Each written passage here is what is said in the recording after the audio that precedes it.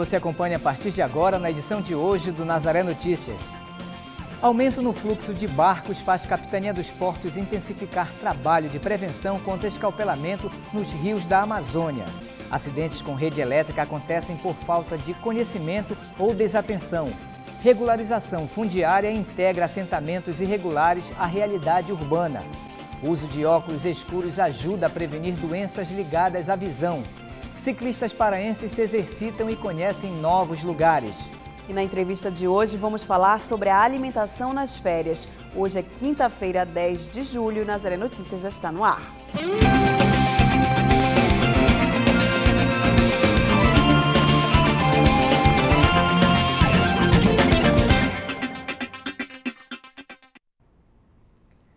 A edição de hoje começa falando de um acidente que infelizmente ainda acontece nos rios da Amazônia, o escalpelamento. Em junho deste ano, a Capitania dos Portos registrou o primeiro acidente de escalpelamento deste ano aqui no estado. São muitos os trabalhos de prevenção e orientação. Mesmo assim, o acidente é uma realidade no Pará. Um acidente que deixa marcas permanentes, afeta as vítimas física e psicologicamente. O escalpelamento acontece quando a pessoa tem arrancado o couro cabeludo e até partes do rosto, podendo levar à morte. Acontece quando o cabelo solto ou preso de forma inadequada enrola no eixo do motor. Em 2009, a Capitania dos Portos iniciou um trabalho de prevenção desse acidente. Dados apontam que 80% das vítimas são mulheres. Há estimativas também de que 65% dos acidentados são crianças combater o escapelamento, nós atuamos em dois polos.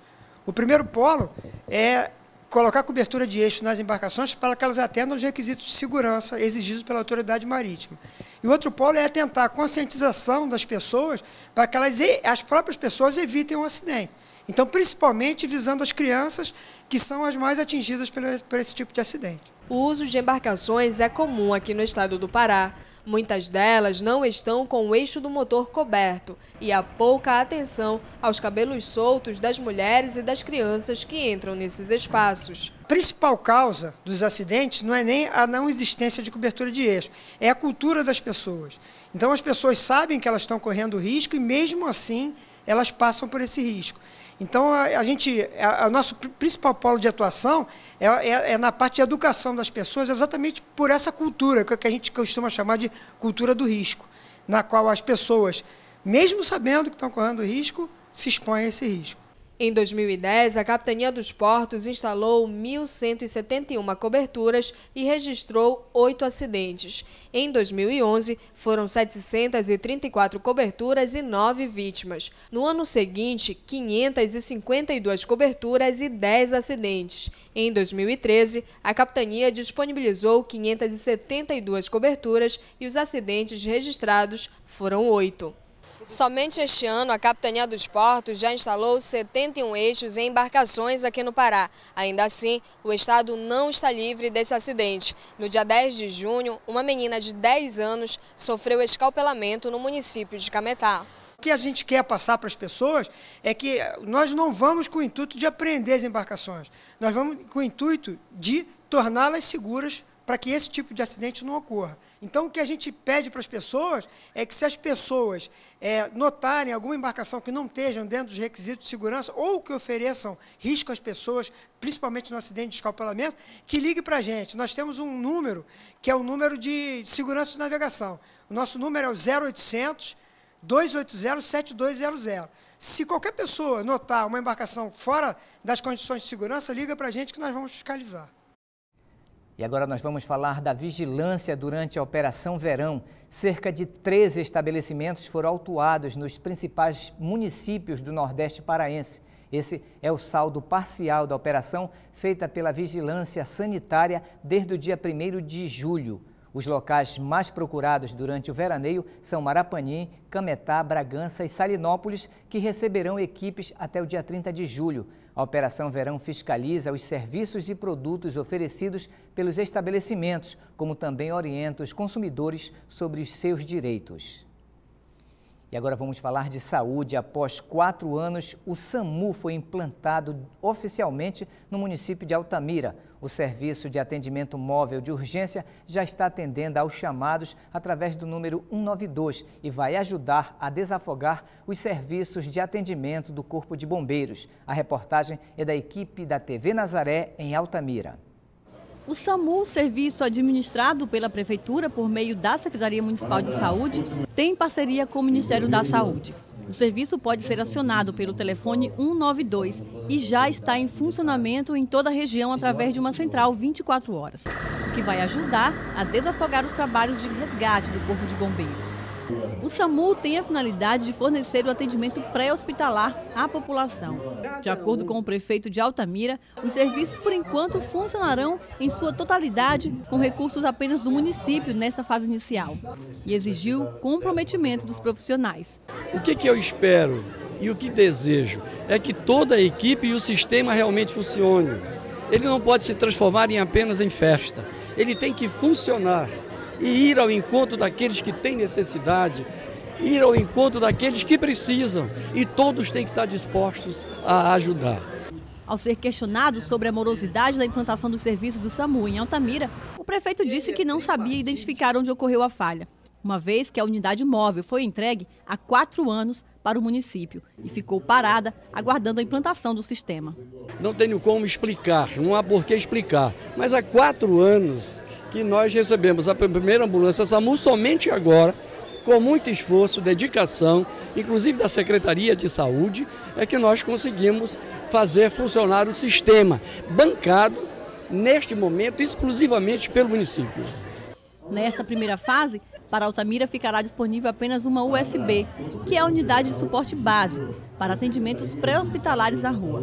Para a implantação desse serviço, foram gastos cerca de 50 mil reais, segundo o secretário de Saúde. E a cerimônia de inauguração do programa aconteceu na própria sede do SAMU. Ainda segundo o secretário de Saúde, o município aguarda e espera a parceria das três esferas para o perfeito funcionamento do SAMU na região transamazônica é, é, tem os dois sexos. Então nós precisamos fazer esse investimento contando que a partir do dia 15, com a habilitação feita pelo Ministério da Saúde, vai entrar a contrapartida, porque por enquanto é só o município que está fazendo esse investimento, acreditando que a gente vai habilitar e que a gente vai fazer funcionar o tripartite, que é o recurso federal, o recurso do Estado e o recurso do município. Bom, a gente está aí com uma batalha de mais ou menos uns quatro anos né, é, na luta para a implantação desse serviço, que é de fundamental importância é, para o fluxo da assistência à saúde. Né? É o primeiro atendimento que a pessoa tem, é o atendimento pré-hospitalar que é realizado pelo serviço de, do SAMU, né, o serviço 192. Na USB, estarão prontos para atender aos chamados profissionais como técnicos de enfermagem e um motorista. Eles farão os primeiros atendimentos e encaminharão as vítimas aos hospitais. Na segunda fase do programa virão outras unidades móveis mais avançadas, como as UTIs móveis, segundo o coordenador regional do SAMU. Bom, a, a primeiro momento, né, é, a gente vai trabalhar com as unidades de suporte básico, as USBs, que são essas ambulâncias, onde nelas contém os técnicos de enfermagem e os condutores né, de serviço de urgência. Então, esse primeiro momento é só a USB, que é o suporte básico. Né? É, e num segundo momento, né, após a habilitação dessas bases, a gente vai estar solicitando a unidade de suporte avançado, né, que é a UTI móvel. Tá? Nela vai conter médico e enfermeiro para atuar nos resgates na região. A Secretaria de Saúde de Belém divulgou o laudo sobre os dois casos suspeitos de meningite ocorridos no mês de junho em Mosqueiro, na região metropolitana de Belém. Segundo a SESMA, os dois pacientes tiveram insuficiência respiratória aguda associada a uma inflamação por excesso de toxinas acumuladas no sangue devido à pneumonia. A secretaria também informou que os dois casos não possuem vínculo e que não foram registrados novos casos da doença em Mosqueiro. Segundo a SESMA, de janeiro a abril de 2014 foram notificados 111 casos suspeitos de meningite em Belém e apenas 31 casos foram confirmados. Estamos em pleno verão amazônico e muitas pessoas ou famílias, nesta época de férias, mudam a sua rotina de vida. Na entrevista de hoje, vamos falar justamente sobre alimentação no período de férias. Vamos saber como se alimentar de forma correta e como manter o corpo hidratado no verão. Não é isso, Patrícia? É isso mesmo, Marcos. Hoje nós vamos falar sobre os cuidados que a pessoa deve ter com a alimentação, principalmente nesse período de férias, em que o calor é intenso, não é isso? Por isso nós vamos conversar aqui com a, a nutricionista Francisca Oliveira, não é, doutora? É preciso realmente tomar cuidado nesse período de férias, mudar um pouquinho a alimentação para um outro tipo mais balanceado, mais leve. Como fazer isso? Então, férias é férias, é muito lazer, mas não devemos nos esquecer da nossa alimentação, que é a base, é o nosso combustível para nos manter ativos. Então, é muito importante que haja uma preocupação com a alimentação saudável né, nesta época do ano. Existem é, tipos de alimentos, frutas, vegetais, outros tipos que são mais recomendados? Então, por nós termos uma elevação nas temperaturas, Há locais aí onde a temperatura está chegando a 35, 36 graus. Então, isso aí é muito prejudicial, porque eleva muito a temperatura corporal e há uma, uma, uma transpiração excessiva. As pessoas transpiram muito para nivelar o calor do, do organismo né, com o meio ambiente. Então, o que, que acontece? As pessoas precisam de uma hidratação muito grande. Então, elas não podem é, é, negligenciar com o consumo de água, de, de, uma hidratação. E essa hidratação pode vir através das frutas, das verduras, dos legumes, que é muito importante que seja essa alimentação leve onde se evite mais aquelas alimenta aquela alimentação à base de concentrados, de doces, de gorduras, que vai ser prejudicial à saúde. Existe uma quantidade de líquido ou de água que deve ser consumida de acordo com uma periodicidade de tanta em tantas horas ou de tantos em tantos minutos, se deve beber um copo ou uma quantidade adequada de água ou de outro líquido? Sim, o organismo, na, na sua rotina habitual, já necessita de pelo menos 2 litros de água. E no decorrer de um período de férias em que as pessoas estão com essa temperatura mais elevada e tudo isso aí, o que se aconselha é que haja um aumento nessa ingestão de pelo menos 3 litros, 3 litros e meio de líquidos. E isso aí pode ser feito de forma fracionada, através dos sucos, do próprio líquido das, das frutas, dos legumes e desse consumo de água que deve ser feito a cada hora, a cada, eh, digamos, 30 minutos, você consumir 200 ml de água seria recomendado. Agora, existem algum, existe algum tipo de, de alimento que não é recomendado, que é muito pesado, ou que tem algum tipo de substância que pode causar algum mal-estar nesse período por conta do calor associado? Então, é como eu falei anteriormente, se você concentrar sua alimentação só com doces, com frituras, com alimentos de fácil, de, é, de difícil digestibilidade, vai ser extremamente prejudicial ao seu organismo, porque você vai ter uma, uma desidratação por conta de tudo isso. Então, você deve estar evitando esses alimentos muito concentrados em calorias, em gordura, em carboidratos e lipídios que vão realmente sobrecarregar o organismo. Agora, se deve ter cuidado também com alimentos de rua, não é, doutora? Então, o alimento de rua, ele tem que ter, você tem que ter cuidado de saber onde você vai fazer essa refeição.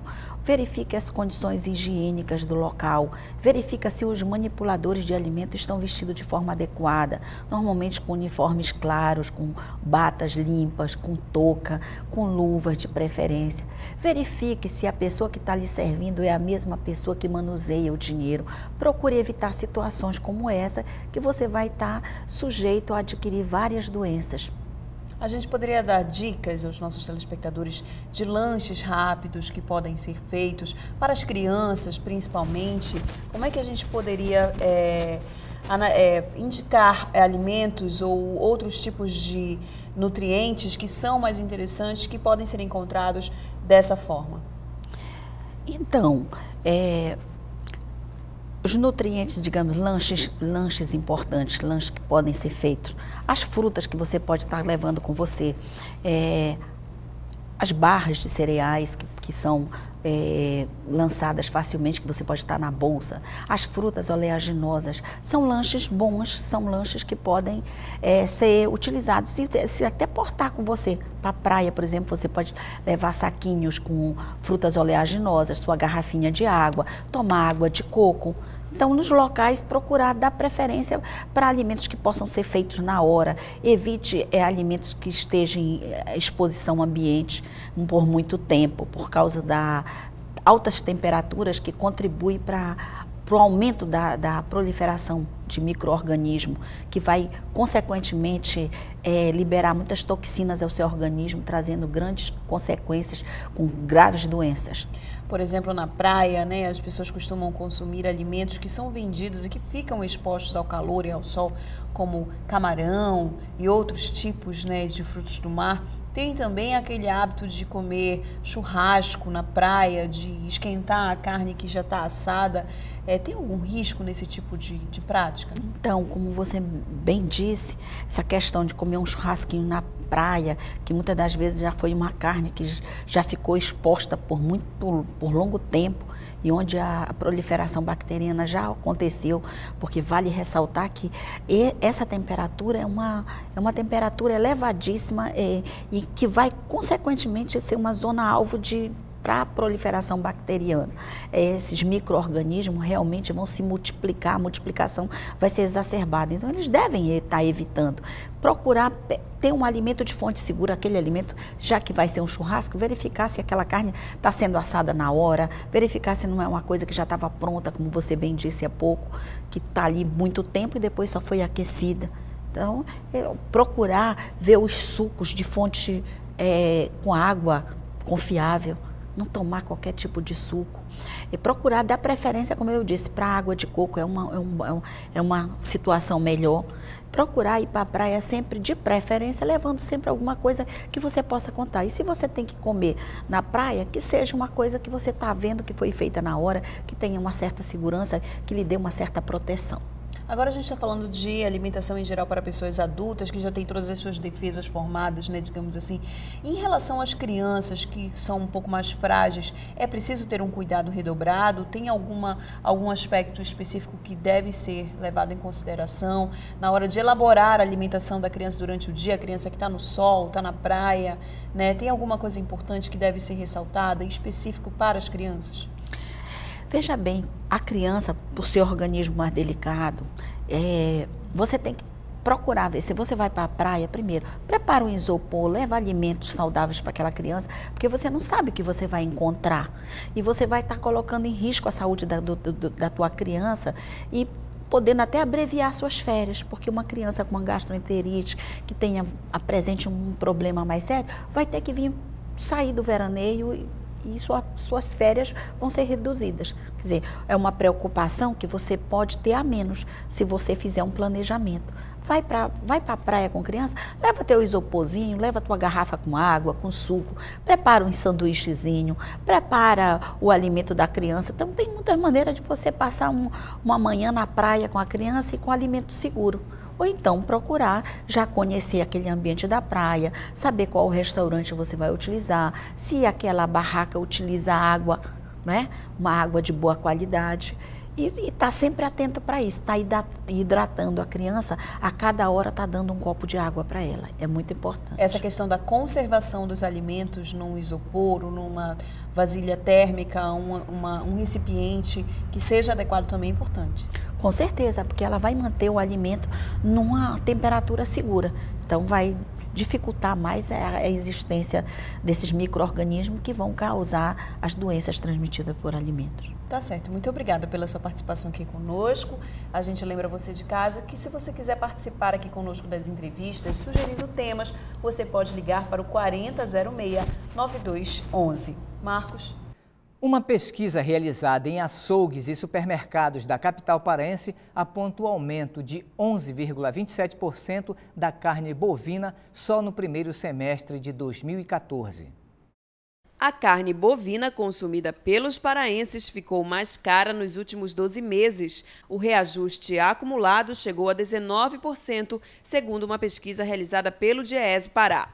Em janeiro de 2014, o quilo da carne era comercializado a R$ 14,26. Já no mês de junho, o mesmo produto era encontrado a R$ 15,90. Segundo o DIEESE, com esses números, de janeiro a junho, o preço da carne bovina teve um aumento de 11,27%, acima da inflação calculada a 3,79%.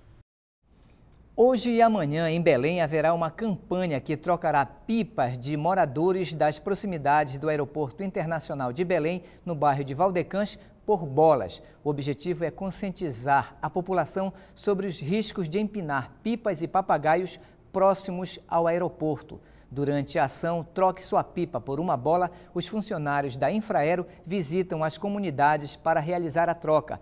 Eles também vão distribuir panfletos sobre os riscos da brincadeira. A atividade de lazer compromete a segurança das operações aeroportuárias, especialmente no período de férias escolares. A campanha é realizada há mais de 10 anos e ocorre nas comunidades do Bengui, Pratinha 1 e Pratinha 2. A maioria dos acidentes com a rede elétrica é provocada por falta de conhecimento ou desatenção de quem está utilizando a energia ou trabalhando próximo à rede elétrica. As ligações regulares estão por todo lugar, principalmente no comércio informal, e o risco de acidentes é grande. Qualquer consumidor que precise de energia elétrica, procurar a concessionária para solicitar sua ligação seja ele um consumidor regular, uma residência fixa, seja um ambulante. Na questão dos ambulantes, a gente é, acredita que a grande maioria, até porque nós acompanhamos as estatísticas, solicitam a ligação para a CELPA. Mas vários, e por isso vocês têm observado isso nas ruas, é, decidem correr o risco de fazer as ligações por conta própria. Na realidade, eles estão arriscando não somente a vida deles, fazendo essas ligações, mas arriscando terceiros, inclusive os próprios consumidores dos produtos que eles estariam vendendo como ambulantes. Então, qualquer pessoa que observe que a ligação está feita, e isso é muito fácil de visualizar, geralmente são feitos ganchos e engatam diretamente na rede da concessionária e devem denunciar a CELPA para que a gente tome as providências. E, principalmente, não usem essas barracas para é, segurar, sentar, ficar próximo, porque o risco é grande. Somente na região metropolitana de Belém existem cerca de 180 mil ligações clandestinas. A concessionária de energia orienta e fiscaliza. Contudo, os acidentes acontecem. Em todo o Pará, são 250 mil ligações irregulares. Qualquer pessoa que faça uma ligação direta na rede, essa pessoa que executa, ela já corre o risco, até porque é comum eles fazerem isso várias vezes, né? Então, geralmente ele coloca a ligação e tira todo dia. E essa ligação é feita com cabos inadequados, geralmente quase que a grande totalidade não tem conexão sendo feita na rede. E a, possibilidade da barraca ou do local lá de venda de ambulante estar energizado diretamente na baixa tensão da, da concessionária é muito elevada. Geralmente ele enrola o cabo na estrutura que ele utiliza da barraca. Então, uma pessoa que venha se encostar ou, ou mesmo é, segurar em algum, algum ponto pode sofrer o choque elétrico. E quem quiser informações sobre o manuseio da rede elétrica é só entrar em contato com a concessionária pelo telefone 0800 091 0196. Os aposentados e pensionistas do INSS receberão a primeira parcela do 13º salário no mês de agosto. A previsão é de que os pagamentos sejam realizados a partir do dia 25 de agosto. Os primeiros a receber o pagamento serão os aposentados, que ganham até 724 reais, equivalente a um salário mínimo. O valor depositado a partir do dia 25 de agosto corresponderá a 50% do total. Já as pessoas que forem receber mais de um salário mínimo, o depósito será feito entre os dias 1 e 5 de setembro. E você acompanha ainda nesta edição. Regularização fundiária integra assentamentos irregulares à realidade urbana. O uso de óculos escuros ajuda a prevenir doenças ligadas à visão. Ciclistas paraenses se exercitam e conhecem novos lugares. Voltamos com Nazaré Notícias falando de regularização fundiária. Hoje são muitas as áreas que precisam de regularização aqui em Belém. O processo pode ser feito tanto por ações da Companhia de Desenvolvimento da Área Metropolitana de Belém, a CODEM, quanto por iniciativa própria de famílias que vivem em ocupações. Quase todas as cidades brasileiras possuem ocupações que necessitam de regularização fundiária. A irregularidade está associada, em sua maior parte, a ocupações de população de baixa renda que não teve acesso à produção formal de habitação. A regularização fundiária busca integrar assentamentos irregulares à realidade das cidades, através de medidas jurídicas, urbanísticas, ambientais e sociais. A regularização fundiária ela tem uma definição legal, né, pela Lei 11977, que é um conjunto de medidas sociais, jurídicas e urbanísticas para regularizar um determinado assentamento. A grosso modo é isso que significa a regularização. E o fim dela é a titulação individual daquela pessoa para que ela tenha segurança na posse e que aquele assentamento seja reconhecido formalmente como uma parte da cidade. Morar de forma irregular é também estar em condições de insegurança permanente. A regularização fundiária transforma a perspectiva de vida das comunidades e das famílias beneficiadas e interfere na gestão dos territórios urbanos. A titulação individual do morador faz com que ele tenha segurança na posse. Então, aquele terreno que ele ocupa com um imóvel que já é dele fica regularizado, reconhecido juridicamente como sendo aquela pessoa podendo usar, né? Isso é o aspecto individual. Coletivamente, ela pode proporcionar melhorias urbanísticas, melhoria na qualidade de vida daquela comunidade. O maior número de ocupações sem regularização fundiária aqui em Belém está nas áreas de expansão da capital paraense, principalmente no entorno da rodovia Augusto Montenegro. Regularizar um terreno em Belém não é um processo simples, mas é acessível. Nós atendemos a população de duas formas, né? A Companhia de Desenvolvimento, que é a CODEM, é, faz tanto projeto em comunidades, através do Chão Legal, projeto de regularização fundiária de interesse social, e também atendemos a demanda espontânea, as pessoas que vêm a, CODEM regularizar. A moradia regular é condição para a realização integral de outros direitos constitucionais, como o trabalho, o lazer, a educação e a saúde. Você ter o imóvel regularizado, a questão fundiária regularizada, te garante muitos direitos, né? O direito social à moradia, o direito à propriedade do seu imóvel é respeitado. Toda vez que o poder público tem que fazer uma intervenção, né, ele tem que desapropriar aquele imóvel, o fato de você ter um documento melhora muito a sua condição né, de, expropriado.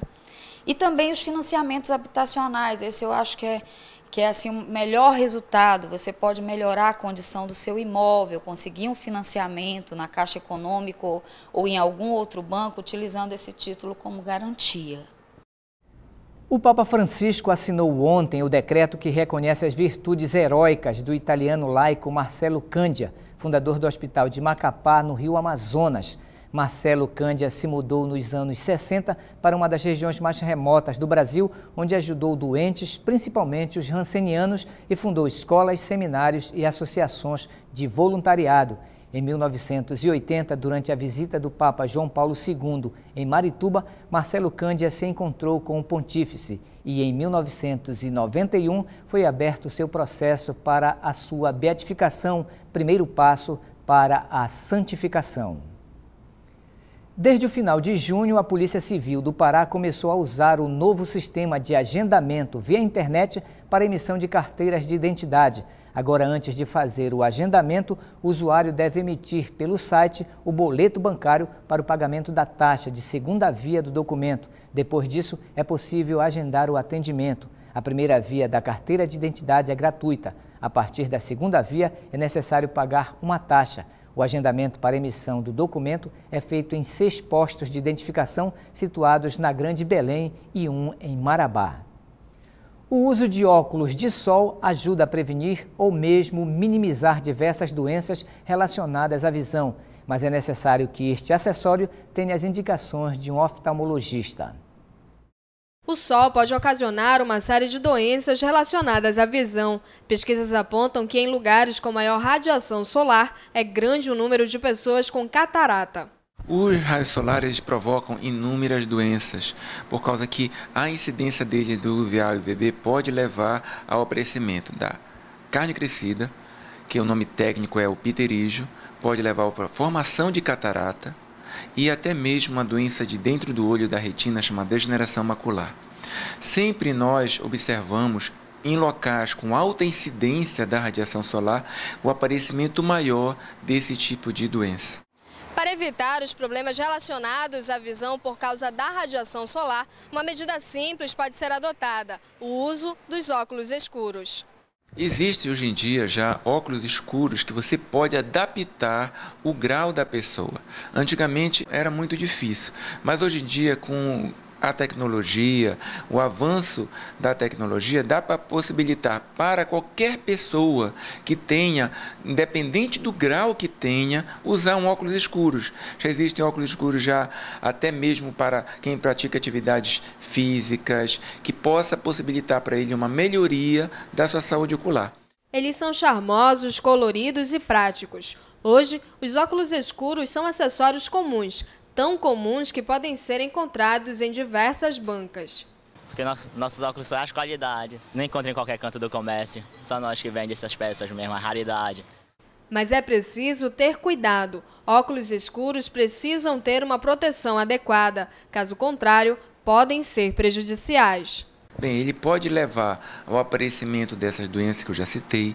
Se for um óculos de grau, que tem gente que compra até no camelô o óculos de grau, pode levar a aparecimento de dor de cabeça, desconforto em torno dos olhos, sonolência à leitura, já começa a ter dificuldades maiores, ou até mesmo, quando não procura o oftalmologista, ela pode ter alguma doença que não saiba, que por sua vez só é detectada pelo médico.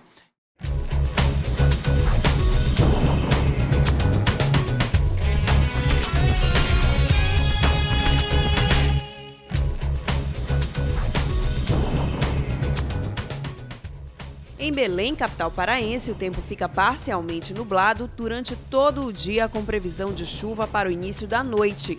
A temperatura mínima é de 23 graus e a máxima de 32. Em São Luís, a capital do Maranhão, o tempo será nublado. A temperatura mínima será de 25 e a máxima de 32 graus. E em Sinop, no Mato Grosso, o tempo será de sol com poucas nuvens. A temperatura mínima é de 21 graus e a máxima de 25.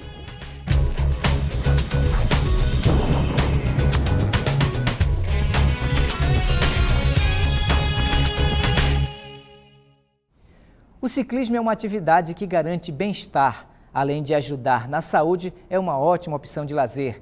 Um grupo se reúne todos os sábados no Parque do Tinga, em Belém, para fazer trilha. Para quem gosta de aventura, essa é uma boa dica para este período.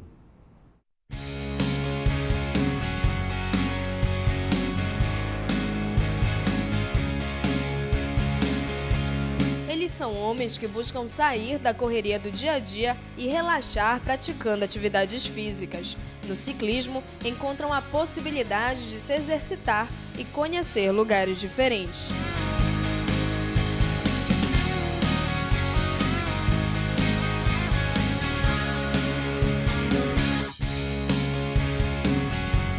Todos os sábados, este grupo se reúne para uma aventura. Hoje, percorreu as avenidas João Paulo II e Júlio César até a estrada da Ceasa. Pelo caminho, encontraram ônibus e carros e respeitaram a legislação de trânsito que diz que bicicletas e veículos automotores devem andar na mesma via. A cada pedalada, um encanto a mais, o contato direto do homem com a natureza. É um local muito bom para a pessoa que leva a vida a semana todinha trabalhando. Aqui dá para dar uma relaxada legal, dá para tirar o estresse, dá para queimar caloria, dá para respirar um ar puro. Enfim, dá para trazer a família, estar tá em contato com a natureza. Fazer trilhas não é nada simples. Pelo caminho, eles encontram muitos desafios. Por isso, aconselham e utilizam os equipamentos de segurança. Tem alguns galhos que seguram a gente. Basta prestar atenção. Por isso é fundamental o capacete, quem tivesse com o capacete tinha me ferido. Quem pratica essa atividade garante os benefícios e pensa até em trazer mais pessoas. Fui convidado pelos amigos aí e hoje eu tô aqui. Curtir o mato, o mar, a, a, o lago. A respeito da bicicleta, cara, é coisa fantástica. Eu amei, amei, amei, amei mesmo pedalar, cara. E isso aí eu não vou deixar nunca mais. Eu vou trazer minha esposa, vou trazer meu filho. A gente vamos conhecer cada vez mais, cara. É ótimo, cara. E venha, venha participar, venha curtir, que é o que é de bom aqui em Belém. Para quem já está acostumado a pedalar, o encanto não passa. Poder se sentir bem com o espaço que fica dentro da cidade e é acessível a todos não tem preço. Na verdade, é, em mês de julho, muita da gente foge de Belém e deixa Belém praticamente deserta. Como um bom ciclista que nós somos, a gente é acostumado com isso, a gente gosta de fazer isso. A gente aproveita esse tempo que tem agora, esse final de férias e aí vem para cá dentro do Parque Ambiental, faz uma trilha, roda em Belém, faz esse passeio na cidade aí para que é bom para a saúde. Para quem não é paraense, conhecer esse espaço e participar dessa aventura é uma grande alegria. Estou adotando essa terra aqui maravilhosa, aproveitando essa, essa riqueza de, de, de natureza, florestas, verde, né? Quem ficou interessado pode participar, basta ter uma bicicleta.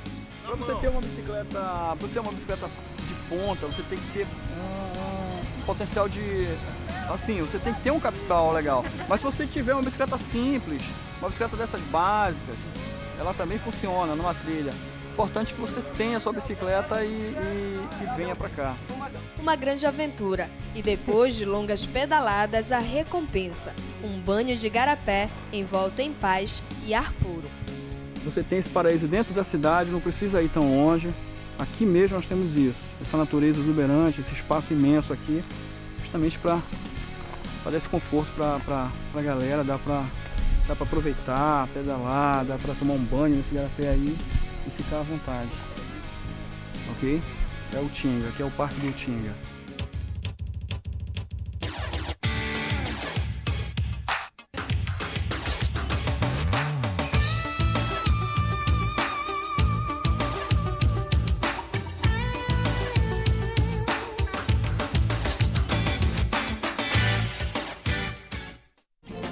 E essas foram as notícias de hoje. Para dar sugestões de reportagens, ligue para nossa central de atendimento no número 4006-9211. E se você quiser rever nossos vídeos, acesse o portal Nazaré, www.fundacionazaré.com.br ou acesse a nossa página no Facebook. Nazaré Notícias fica por aqui, nos encontraremos amanhã na próxima edição. Até lá!